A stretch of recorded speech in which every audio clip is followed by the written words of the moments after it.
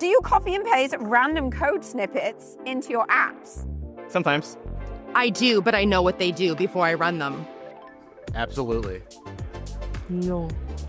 Do I? Is this like a call Seth out situation? Yeah, I think I do. I I might. Yes, Anyone who says no is lying. that's right. No, I'm not doing that.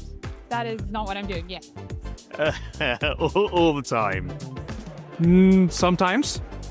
I copy and paste random code snippets from GitHub Copilot all the time. No, I try not to. Hmm, probably yes. Absolutely not.